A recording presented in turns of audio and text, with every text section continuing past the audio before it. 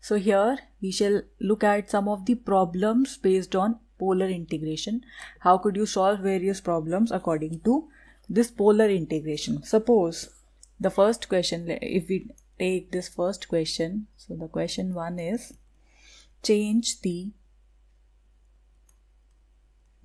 Cartesian integral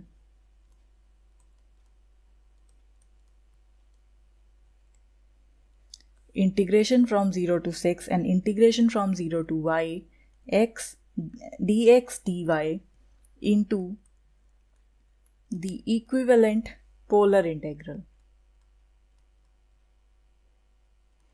So how do you do that? How do you shift or convert one Cartesian integral into the equivalent polar integral? So for that, the first condition is always to visualize the region. So here, what is your region? Here you see your limits. These are the limits of x and these are the limits of y. So according to this, your area of integration, what is this? This is all the points x, y such that the limits of x, they are from 0 to y and the limits of y, they are from 0 to 6. This is given to you. From here, you can draw the uh, area what could be your area. So from here you have x is equal to 0 according to this and according to this you have x is equal to y. And from here you have y is equal to 0 and y is equal to 6 so that means you have these four lines. So we can very easily draw these straight lines. So this is your x axis this is y axis. So x is equal to 0 is this y axis only right? And uh, y is equal to 0 is this x axis only? y is equal to 6 suppose this point is 0 comma 6 so y is equal to 6 would be a line parallel to this x axis passing through this. So this is your y is equal to 6 and x is equal to y would be a line passing through the origin and making an angle of 45 degrees with the uh, given initial line that is x axis so this is the line x is equal to y. Now, what is your shaded region or the area in which you are interested? The area would be bounded by all these four lines. So our area here would be this particular area. So here you have to convert your Cartesian coordinate into the corresponding polar coordinate. So for that you first note that what is this point? This point over here uh, when whenever x is equal to y and the value of y here is equal to 6 so this point is 6 comma 6 so this point is 0 comma 6 this point is 0 0 this point is 6 comma 6 so now we have to uh, convert our given integration so we have to convert this 0 to 6 x varying from 0 to y, this y varying from 0 to 6 of the function x dx dy into the corresponding polar form. So that means whenever you convert it into the polar form, you will write in place of dx dy as r dr d theta and uh, in place of x what will you write? You will write the value of x is equal to r cos theta.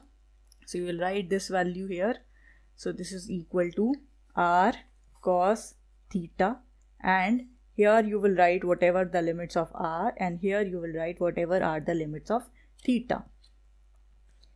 Okay, so for that we have to determine the limits of theta. So now let us see what are the limits of this r and theta. Now what you did uh, previously so you just draw a ray within this shaded portion. So that means you will draw this ray, say this is some ray L. So now you have to see for this ray what, what are the limits variable for R. Because here if you move on to this here the value of r would be something else here the value of r would be something else. Because uh, what is r? R is this particular distance.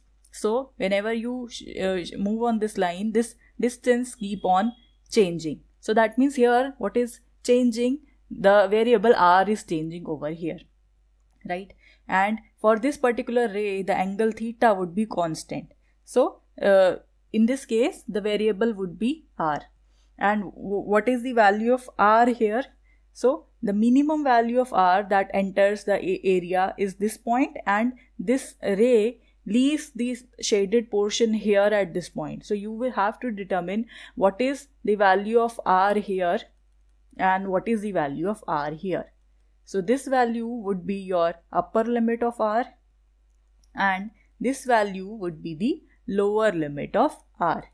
Now you have to determine what is the value of r here. You know at the point 0, 0, the value of r is equal to 0 because we measure the distance of r from origin and at origin the, the distance would be 0 so your limit lower limit is going to be 0 and the, for the upper limit you have to determine what is this particular distance. What is this whole distance? Right? So for that you can use trigonometry. If this angle is theta then according to because these two lines are parallel then according to alternative angles this angle is also theta right? And because this line makes an angle 90 degrees so we have a right angle triangle at this point the uh, origin a and say this point b right? So we have right angle triangle. Now we have to determine what is this length what is the length of this hypotenuse over here. So for that you know this distance this distance is given to be 6 because you know this point is 0 comma 6 so according to trigonometry what would be the value of r here? So if you see here uh, you you wanted to have the value of hypotenuse. So hypotenuse upon perpendicular here is equal to cosecant theta. So from here you can obtain the hypotenuse that is r that is equal to 6 cosecant theta so that is how you obtain this upper limit. So this is equal to 6 cosecant theta. And uh, this is all about the limits of r. These are the variable limits. They depend upon theta. Now coming on to the limits for theta. What are the limits of theta? The limits of theta, they will vary from this particular line to this particular line. So that means you have to see what is your value of theta for this particular line for this particular line what is this angle and for this line what is this angle. For this first line this angle is the angle made by this particular line x is equal to y and you know this line makes an angle of 45 degrees with uh, this x-axis how? You can very easily shift uh, convert this into the po equivalent polar equation and then you can see what is the angle made by this line. Also from slope you can calculate the angle right because you know what is theta theta is tan inverse y by x. So from there you obtain the value of theta as pi by 4 here.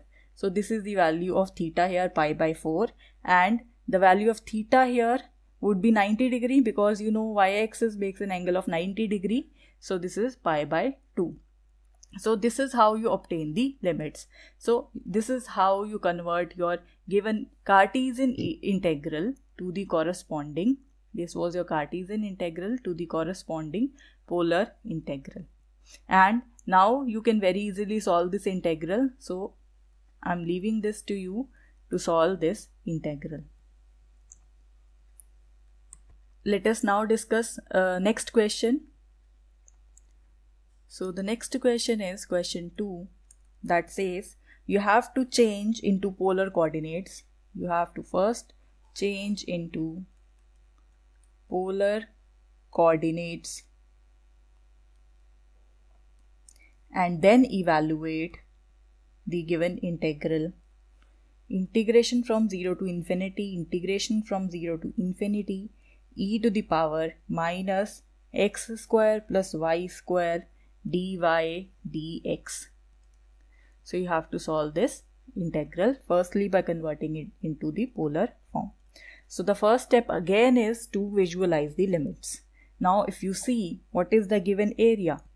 So your given area consists of all the points x and y such that the limits of y they are from 0 to infinity and the limits of x they are from 0 to infinity so that means uh, your area would be the values of x lying between 0 and infinity and the values of y also lying between 0 to infinity. And remember, you do not write equality here in this case. Why? Because uh, we do, cannot exactly say what is the value of infinity. So always this is an open interval. Okay. So here, firstly, we have to determine our region. So for that, we will draw the lines. First line would be this uh, x is equal to 0, y is equal to 0 another line would be x is equal to infinity y is equal to infinity. That means your region here is the unbounded region. And this region will go up to infinity. So how would it look like so this is x axis this is y axis and your region this point is origin 0 0 so it it will go up to infinity. So whatever is this whole region that is your region. And similarly in the upward direction also you will have the same region right? It will move on to up to infinity. So this is whole is your region. Okay now we have to convert this region into the corresponding polar equivalent.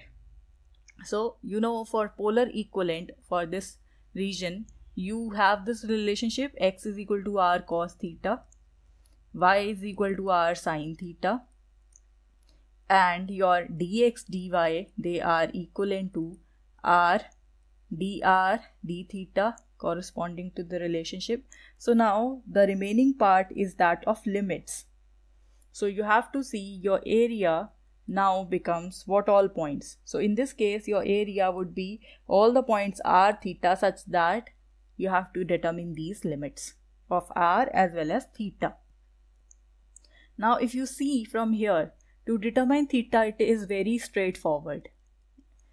At this arc, what is the value of theta? The value of theta here is equal to 0 degrees. And what is the value of theta here? Because this is your region. So value of theta here is equivalent to 90 degrees. So the limits for theta are very simple and they are constant limits. Now you have to determine the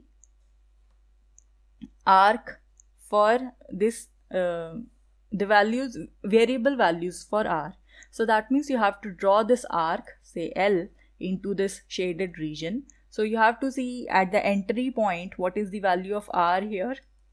And at the exit point what is the value of r here? Now at the yes?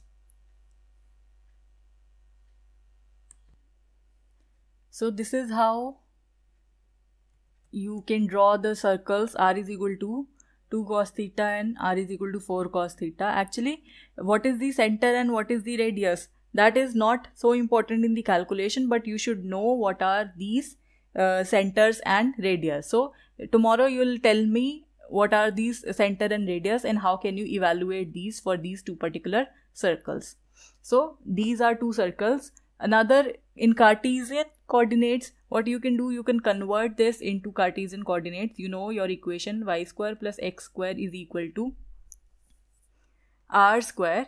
So what is your r? r is 2 cos theta. So r square would be 2 uh, sorry 4 cos square theta. So this is one equation. In cartesian this is one equation. Another equation is theta is equal to tan inverse y by x so using these two equations, you can evaluate the value of x and y. This would be very typical, but uh, you, you, you will tomorrow tell me what is this, uh, how, how do you draw these two circles. So in this case, our shaded portion is this particular portion. So now the limits are from 2 cos theta to 4 cos theta and the limits of theta they are simply because this is the whole complete circle. So either you could take the limits from 0 to 2 pi or you could also take the limits from of theta from minus 2 pi 2 to uh, minus pi by 2 to pi by 2 so these are your limits of integration. So accordingly your integration r cube dr d theta now that is converted to this theta varying from minus pi by 2 to pi by 2 and r varies from 2 cos theta to 4 cos theta r cube dr d theta. Now the thing that is remaining is you have to firstly simplify this whole expression and then you will simplify with respect to theta, integrate with respect to theta. So we'll keep the components of theta as such. And then we have to perform the integration with respect to r. So it would be r to the power 4 divided by 4 and the limits of r they vary from 2 cos theta to 4 cos theta. So this would be equivalent to 1 by 4 outside so this is equivalent to theta varying from minus pi by 2 to pi by 2 of the function 256 cos raised to power 4 theta minus 16 cos to the power 4 theta d theta. So now we can simplify this with respect to theta. Uh, you can solve these components. So finally, with respect to theta, your answer would come out to be 45 pi by 2. So this is the final answer.